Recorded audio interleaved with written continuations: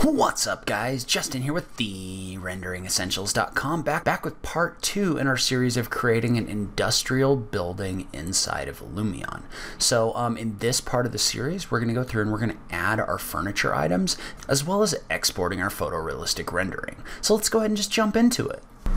And so now what I want to do with this space is I want to start adding some models in here because that image we created looked good, but the problem with the image that we created was that it feels really empty. And so what we want to do is we want to go ahead and we want to start importing some different like office furniture and things like that. And so for this case, what I'm going to do is I'm just going to bring in some desks and some chairs and things like that. So I'm just going to bring in a desk, I'm going to bring in an office chair, and you can hold the R key to adjust the direction that that's facing. And we're just going to place this office chair at this table. Probably come in and add like a computer or something like that on this desk. So something like this so we're going to go ahead and we're going to select these items and then we're going to hold the Alt key and we're just going to use the Move tool to create some copies. So we're going to add some different computers and some different desks in here. And the nice thing about this is if you want to, you can hold the Control key once you've done this and select all of these. And then we can just hold the Alt key again and make a copy of these a little further down the way. So I've got all of these selected and we'll go ahead and leave a gap in here. Um, so we've got these kind of in a row, but let's say we've got like a big long row of these desks and tables and things like that. Well now we can hold the control key and select all of these and then hold the alt key and make a copy of them across here as well. So and there may be some things you want to do where you kind of like random randomize this or something like that. I don't really have time to do that right now just because this is going to be a quick rendering. Um, so we'll just have a bunch of these in here. And then probably what I'm going to do is add maybe some pieces of furniture and some other like entourage stuff along the wall right here. So I'm going to speed this up while I do this. Then we'll come back and take another look at what we're what we're doing.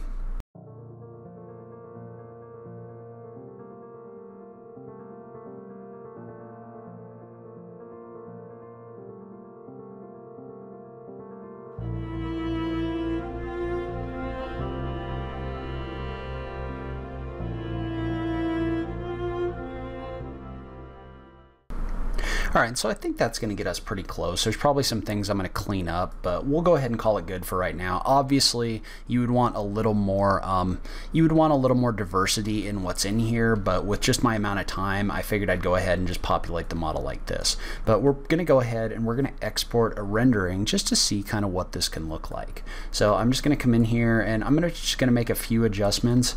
So I'm going to build on top of my uh, realistic shadows settings that I've done before. And this is one thing I would really recommend for all of you is to find some stuff that you like and then um, kind of build off of that for your different things. So like for example, this one I created before there were really real skies in the older version of Lumion. So what you can do is you can come in here and build on top of that and you can bring in real skies to create different views and different things like that. So you can see how that real sky really does a great job of um, casting some realistic sunlight in here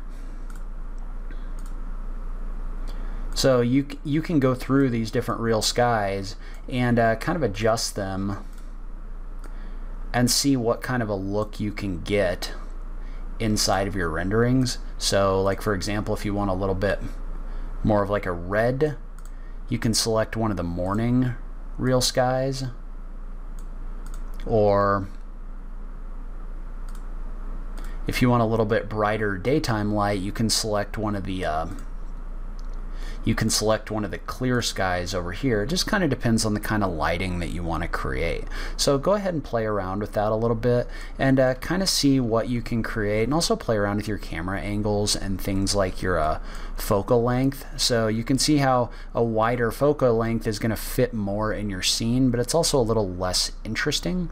So if you zoom in a little bit more, um, you're not necessarily going to fit as much in, but it may give you a little bit more of an interesting look in here. The other other thing I want to try to do, and I haven't actually messed around with this too much, so we'll see if we can do it, is I want to see if I can create some volumetric sunlight, and yep, we definitely can. So what I want is I want some beams of light coming through my windows in here a little bit. So we're almost going to make it kind of foggy looking so that you can actually see the light coming through. And you do need to be a little bit careful when you do this because you want those light beams to come through, but you don't necessarily want them to block like your background or anything like that. So we'll go ahead and test this like this and just kind of see what this image is going to look like. So I'm just going to do a test three hit the enter key, and we're going to go ahead and render this out. And the one thing I don't like about this volumetric sunlight is it's like right in the foreground of my image, right? It's like blocking what this space looks like. And so I want to bring it in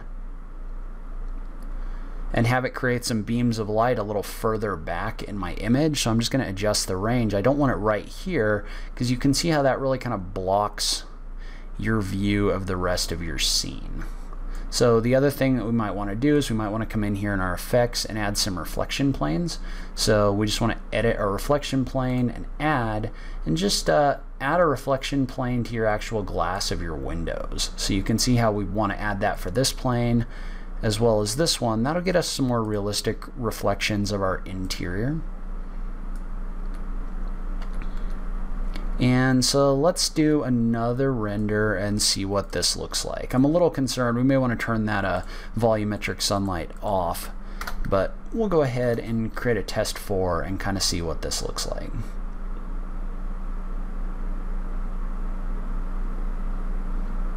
So you could definitely keep that if you wanted to. I think I'm going to go ahead and I'm going to turn that off just because it's blocking the view of the mountains on the outside and things like that. So I'm going to turn off my volumetric sunlight. And then the last thing I'm going to do is I'm just going to add some trees outside the window so you don't have this big open space out here.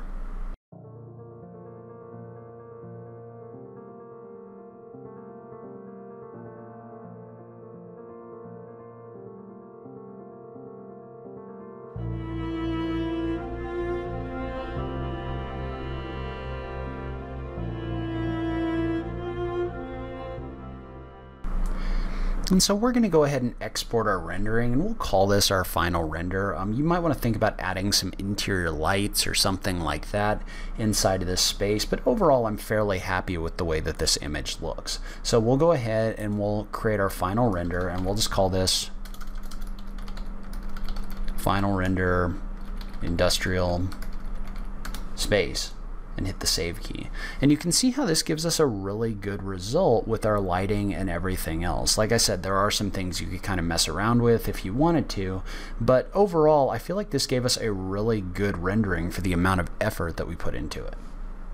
So that's where I'm going to end this video. Leave a comment below and let me know what you thought. Was this helpful to you? Is this a workflow that you find useful? I just love having that conversation with you guys. If you liked this video, please remember to click that like button down below. If you're new around here, remember to click that subscribe button for new rendering content every week. As always, thank you so much for taking the time to watch this. I really appreciate it, and I will catch you in the next video. Thanks, guys.